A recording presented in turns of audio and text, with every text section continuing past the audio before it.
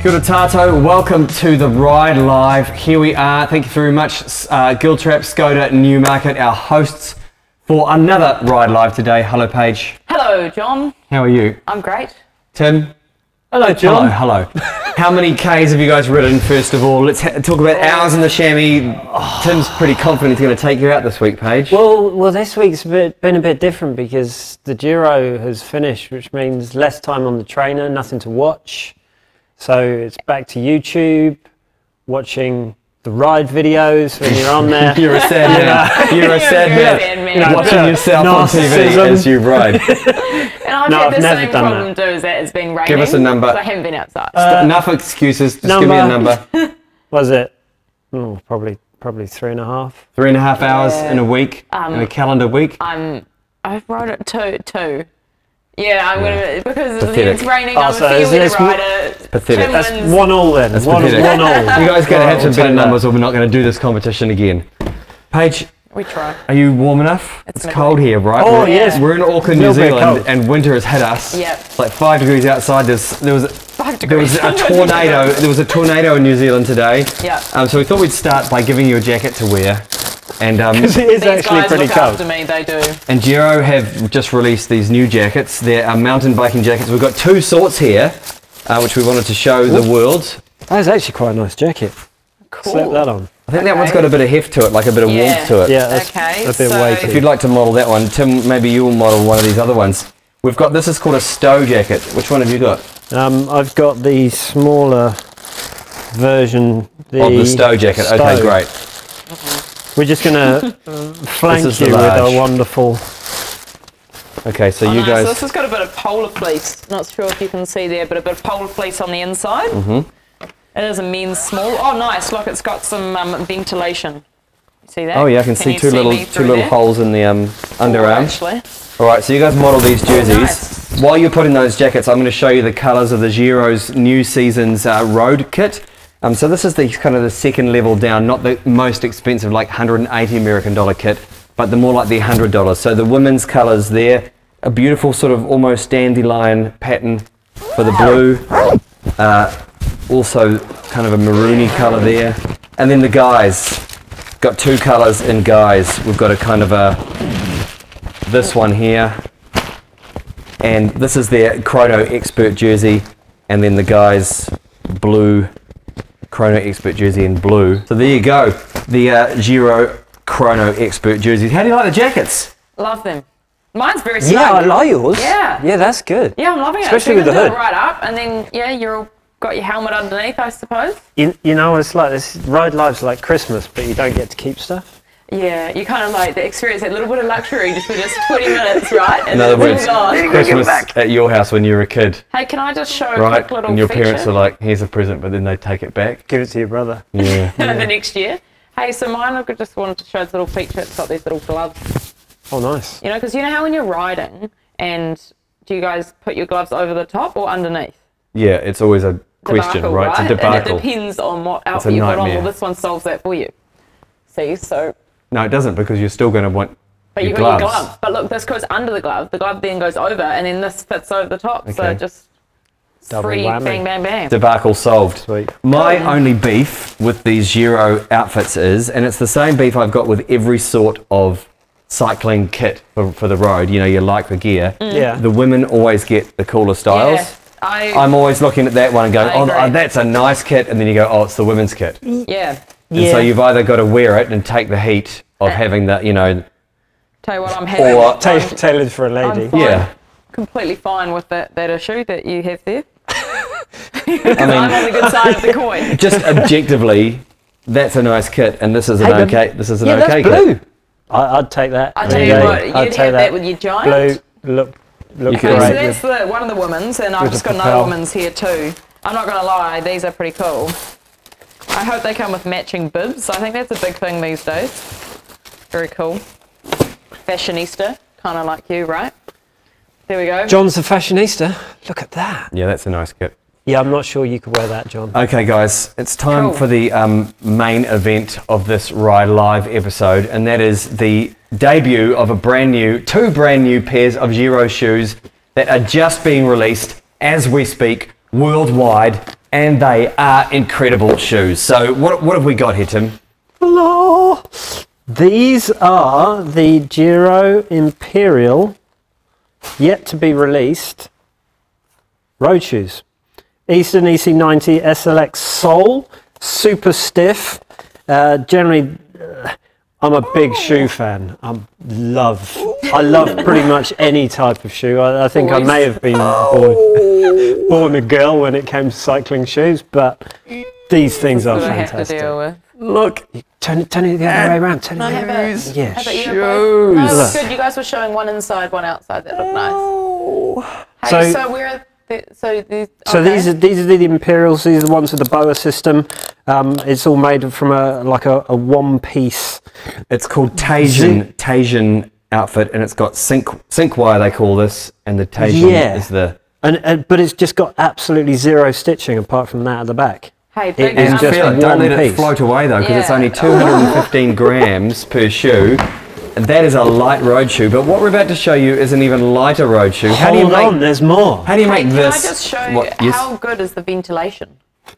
I'd say very. Yeah, Yeah. because see that there. Yeah, but what's what's your take on ventilation though? What what do you like in a shoe? Do you like a cool shoe or do you like a Well, I think a cool shoe because then you can always chuck on wool socks. yeah, or, or an overshoe or Yeah, something like that? So lighter the better, The lighter the better. the better. And yeah, especially if you've got rain in the shoes, it drains out. Yeah, absolutely. Thanks to uh, Worralls for lending us these shoes as they. So these shoes here, I'm proud to report, are only seven hundred and fifty dollars. That's New Zealand. Uh, so that's a snap That's for so good. That is really good price point.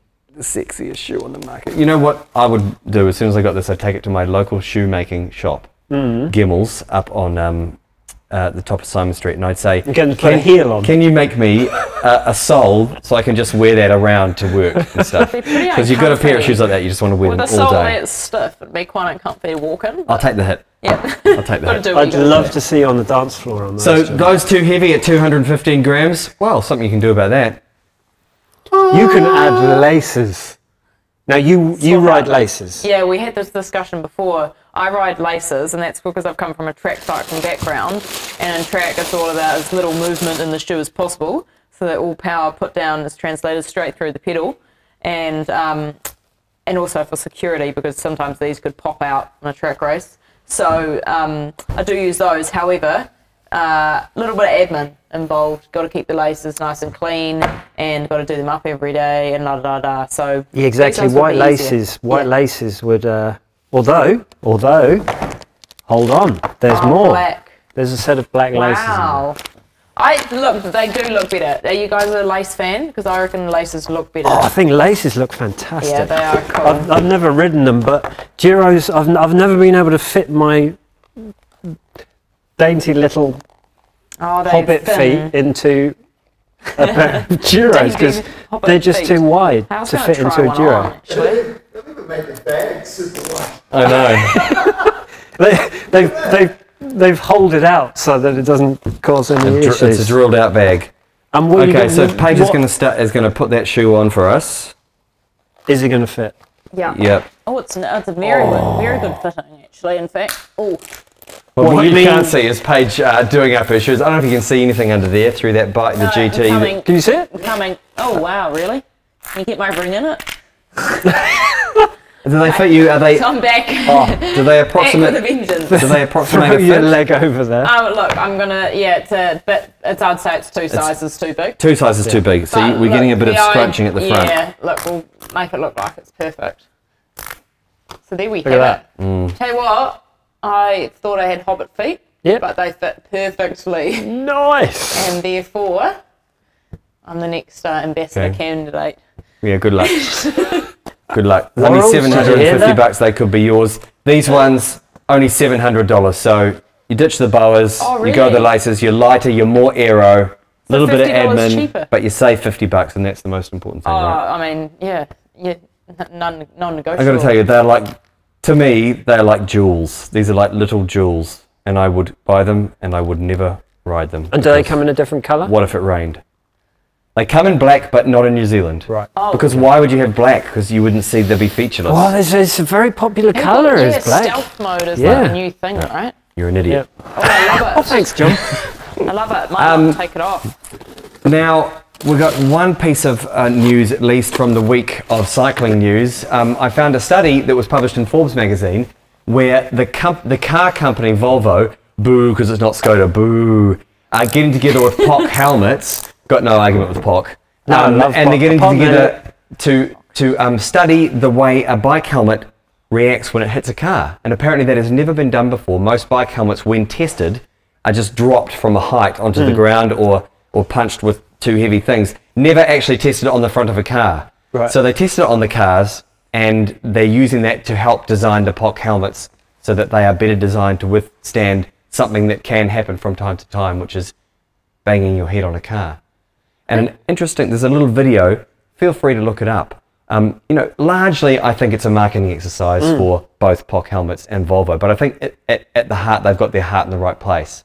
One of the things in the video which, which struck me was the fact they said, as a fact, from their studies uh, and surveys that they've done, that um, wearing a helmet, whatever helmet you've got, is it, it equates to an 80% reduction in the chance of a of a serious head injury. Really? So if you're ever thinking to yourself, why am I today. bothering? Not going to wear my helmet today. Yeah. Do wear your helmet today.